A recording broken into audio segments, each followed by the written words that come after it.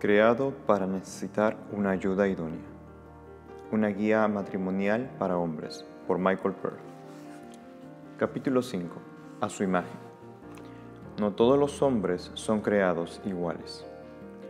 Después de investigar al respecto, mi esposa y yo encontramos que no todos los hombres son creados iguales. Ellos tienen diferentes matices. Existen esposos fáciles de convencer. Otros son dictadores algunos son cómodos, relajados y perezosos, e incluso otros son un poco revolucionarios y están dispuestos a cambiar todo a su alrededor, desde el gobierno hasta el garaje. Todos ellos exigen algo diferente de sus ayudas idóneas. Lo mismo ocurre con las esposas. Todas son distintas y tienen debilidades y fortalezas distintas. Por lo tanto, no existe una única respuesta que se ajuste a todos. Lo que es un remedio para un hombre es una maldición para otro. El agua es buena para apagar un incendio forestal, pero es terrible cuando se usa para controlar una explosión que incluya gasolina. Un esposo dominante necesita que lo consientan, pero un esposo consentido necesita que lo obedezcan. Algunas esposas necesitan que su esposo los motive a lograr metas personales, pero otras necesitan que su cónyuge les diga que se queden en casa. El desequilibrio es la perdición de la felicidad en un matrimonio. En algunos casos extraños, una pareja de esposos y esposas forma una combinación complementaria. Por ejemplo, cuando una chica que carece de confianza y no tiene mucha habilidad al momento de tomar decisiones, se casa con un hombre que por naturaleza es decisivo pero que carece de confianza. A él no le iría bien casado con una chica muy segura y agresiva, ya que esto podría disminuir su autoconfianza incluso un poco más. Por otro lado, estar casado con una mujer que dependa de él lo ayudará a estar a la altura de las circunstancias y a crecer como persona. Y bajo su paciente guía, ella ganará confianza y aprenderá a ser más independiente sin intimidar la capacidad de liderazgo que él tiene. Un equilibrio natural es poco común. Así como los polos positivo y negativo tienen un magnetismo que forma una fuerte conexión, en contraste los matrimonios se conforman de dos polos iguales que se repelen el uno al otro, compitiendo por el mismo espacio. Un matrimonio que comienza con un balance natural es una de dos, o un fenómeno de la naturaleza o un milagro. La mayoría de nosotros debe aprender a ceder y a responder de maneras que no son las más naturales para uno. Las fallas de los esposos son grandes y variadas, van de un extremo a otro. No obstante, cuando un hombre casi perfecto contrae matrimonio, es posible que él descubra errores y pecados que jamás imaginó que pudiera cometer. Todo esto se debe a que en el matrimonio nos volvemos responsables del temperamento, las debilidades y las fortalezas de otra persona.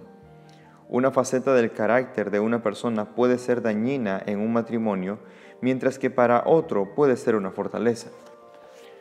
Por lo tanto, un llamado a un esposo errante para que vuelva a centrar su pensamiento puede ser interpretado por otro como una afirmación a su locura. La respuesta para un hombre es la licencia para otro. La medicina para un hombre puede ser el narcótico de otro. Algunos hombres son adictos a un régimen dictatorial, mientras que otros se someten cobardemente a la voluntad de hierro de una mujer. El dictador necesita convertirse en un esposo servicial, y el esposo servicial necesita darle órdenes a su obstinada esposa. ¿Cuáles son sus fortalezas y debilidades y cómo afectan éstas la relación con su esposa? Ha puesto sus fortalezas bajo las restricciones de la sabiduría? Al observar a los hombres es fácil notar que ellos básicamente tienen tres naturalezas diferentes. Unos pocos son dominantes, otros son creativos y visionarios, expresándose como artistas, inventores, líderes religiosos y reformadores sociales. Sin embargo, la mayoría de los hombres son estables. Ellos no quieren tomar el liderazgo dominante ni alterar el status quo. Llamaremos a estos tres tipos hombre dominante, hombre visionario y hombre estable. La forma en que usted se relaciona con la vida y con su esposa refleja cada una de esas tres naturalezas. Vamos a revisarlas y exploraremos, según cada caso, los mejores enfoques para alcanzar la armonía y la madurez espiritual en el matrimonio. Iguales pero diferentes. Dios no creó a todos los hombres iguales. Dios no creó a todas las mariposas del mismo color o forma. Él no creó solo una clase de frutas. Todas ellas tienen un tamaño, un contenido nutricional y un sabor diferente. No todos los gatos son pequeños, no todas las serpientes tienen cascabel. De la misma manera, el Señor creó al hombre de diferentes colores, formas, tamaños y con diferentes capacidades emocionales, intelectuales y psicológicas. Pero ¿cómo se relacionan estas diferencias con nuestro rol como esposos? Ese será el tema de esta sección del libro. Ahora vayamos al principio de nuestras Biblias para encontrar la respuesta. Creados a su imagen. Génesis 1, 26 y 27 dice, Entonces dijo Dios, hagamos al hombre a nuestra imagen, conforme a nuestra semejanza, y señoree en los peces del mar, en las aves de los cielos, en las bestias, en toda la tierra, y en todo animal que se arrastra sobre la tierra, y creó al hombre a su imagen, a imagen de Dios lo creó. Ya que somos creados a la imagen de Dios, podemos entendernos mejor a nosotros mismos al comprender la naturaleza de Dios. El Señor es uno, Deuteronomio 6.4. Sin embargo, Él se revela a nosotros en tres personas distintas, Padre, Hijo y Espíritu Santo. En nuestra búsqueda por descubrir la imagen que el Señor ha puesto en nosotros, notamos diferencias en las tres personas de Dios.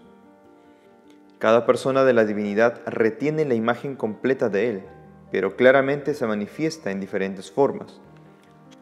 Sus atributos son únicos, pero sus ministerios son diferentes.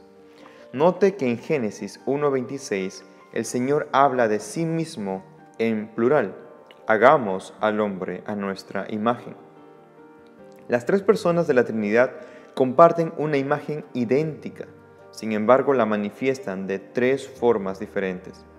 Por lo tanto, debido a que el hombre es creado a imagen y semejanza de Dios, cada varón refleja un aspecto en particular de una de las personas de la Trinidad. Es por eso que los hombres pueden ser tan disímiles. Uno expresa de manera más cercana la imagen del Padre, mientras que otro expresa la del Hijo y el tercero expresa la del Espíritu Santo. El Padre Celestial es Rey y Señor, el comandante en jefe, cabeza de la jerarquía. Pero luego que todas las cosas le estén sujetas, entonces también el Hijo mismo se sujetará al que le sujetó a él todas las cosas, para que Dios sea todo en todos. 1 Corintios 15, 28. El Hijo se sujeta al Padre. Esto pone al Padre en la cabeza, rey de todo. Aquellos hombres creados a la imagen del Padre están equipados para dirigir y mandar. Ellos se distinguen por estar listos para hacerse cargo de las cosas y lograr que éstas sucedan. El Señor Jesucristo, quien dio su vida por el rebaño y vive por siempre para interceder por nosotros, es el sumo sacerdote. Aquellos criados a su imagen tienen naturaleza sacerdotal, son servidores, estables y fieles. La tercera persona de la Trinidad es el Espíritu Santo él llama a los hombres al arrepentimiento y les da convicción de pecado. Los hombres creados a su imagen son de naturaleza profética, visionarios. Entonces, ¿a qué persona de la Trinidad nos parecemos? ¿A Jesús el sacerdote? ¿Al Rey Padre? ¿O tal vez al profético Espíritu Santo? Observación. Toda la creación está configurada con el número 3. Hay tres dimensiones, tres colores primarios de los cuales se derivan los demás colores. Los protones y neutrones están formados por tres quarks cada uno. La Tierra está compuesta por corteza, manto y núcleo. Las plantas requieren nitrógeno, fósforo y potasio. El cuerpo está compuesto por huesos, sangre y tejido. La piel tiene tres capas y nuestros dedos están divididos en tres articulaciones. Nuestros ojos tienen tres partes y el sistema digestivo También hay tres cielos. La unidad familiar está compuesta de hombre, mujer y niños. Somos cuerpo, alma y espíritu.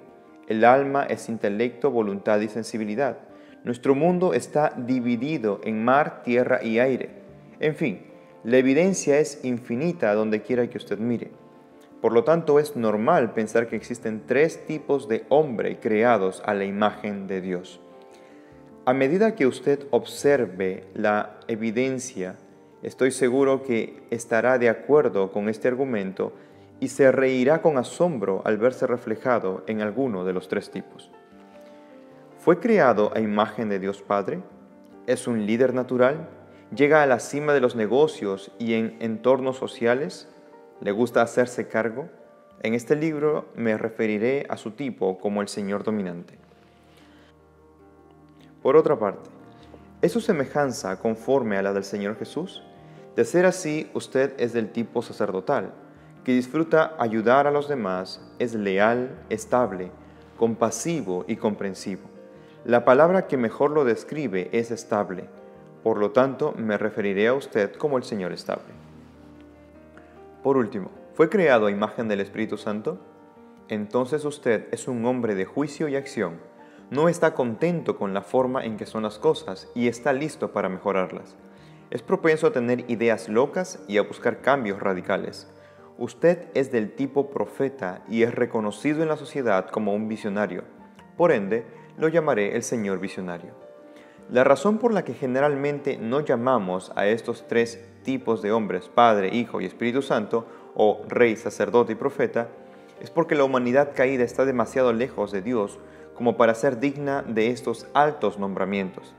A pesar de que el hombre aún conserva hasta cierto punto la imagen de Dios, ésta se encuentra terriblemente deteriorada por causa del pecado. Por lo tanto, es mejor definir al hombre en términos amorales que reflejen una expresión exterior de la imagen de Dios en él. Por eso usaremos los siguientes nombres, hombres dominantes, hombres estables y hombres visionarios. Por lo tanto, el Padre es el Rey, el hombre dominante, que da un paso adelante para liderar. El Hijo es el sacerdote, hombre estable, confiable, compasivo, servicial. Espíritu Santo es profeta, hombre visionario, radical, hombre de juicio y visión. A medida que exploremos las profundas diferencias que hay entre los tres diferentes tipos de hombre, Considerando las fortalezas y debilidades de cada uno, usted podrá entender las respuestas de su esposa en la vida diaria y esto le permitirá dirigirla en su rol como ayuda idónea. Cada imagen tiene asombrosas fortalezas, pero también debilidades. Por lo tanto, es muy importante que usted obtenga sabiduría y conocimiento en esta área. De esa forma, podrá desarrollar sus dones y evitar sus puntos débiles. Esta parte del libro también le ayudará a comprender las reacciones de su esposa y le ayudará a reprimir su inclinación hacia los extremos. Como usted conoce sus fortalezas y debilidades, no se exigirá a sí mismo algo diferente a lo que sus capacidades le permitan. Todos los problemas tienen solución, pero esta varía para cada tipo de hombre. Voy a ayudarle a conocerse a sí mismo tal y como Dios le creó esto va a ser divertido. Hemos hablado de tres tipos de hombre como si estos fueran exclusivos entre sí. Sin embargo, aunque algunos pocos hombres sí manifiestan un solo tipo de carácter, excluyendo a los otros dos, la mayoría de ellos son predominantemente un tipo, pero mezclan un poco de los otros. Nunca he conocido a un hombre que exprese por completo una imagen absoluta de Dios. ¿Puede señalar con precisión cuál imagen es la suya? Lo podrá hacer, pero primero debemos considerar la naturaleza de la mujer de su vida. Naturaleza femenina. Eva fue creada de manera diferente a Adán. Él fue tomado del polvo de la tierra y Dios sopló aliento de vida en él. Ella fue tomada del costado de Adán y se convirtió en hueso de sus huesos y carne de su carne. Es casi como si las mujeres fueran células T diseñadas para crecer en conformidad con la naturaleza de su esposo, pero no para ser idénticas, sino para complementarlo. En ese sentido, no son tan limitadas como lo somos nosotros. No obstante, las mujeres que no están casadas o aquellas que no han desarrollado su rol como una ayuda idónea de sus esposos, manifestarán uno de los tres tipos de mujer de una forma más predominante y esto generará en ellas un desequilibrio. Lo mismo ocurre con una chica que espera hasta el final de sus veintes o más para casarse. Ella tal vez tenga problemas para ajustarse al tipo de su esposo debido a que ella ha sido independiente por mucho tiempo y se ha desarrollado en su propia dirección. La naturaleza de la mujer la lleva a asistir a un hombre. Ella está diseñada para adaptarse por el bienestar de la relación. Una ayudadora no establece una agenda, la sigue. El hecho de aprender a entregar su vida para ayudar a otro a tener éxito no llega de manera natural. Es un proceso de aprendizaje que no siempre sucede sin fricciones.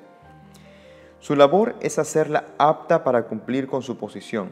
El trabajo de ella es cumplir con su propia tarea, aunque no le parezca satisfactoria personalmente. Este libro está escrito para ayudarlo a usted a dirigirla con el fin de que ella se convierta en la ayuda idónea más apropiada. El matrimonio terrenal es una foto del gran misterio de Cristo y su novia, la iglesia.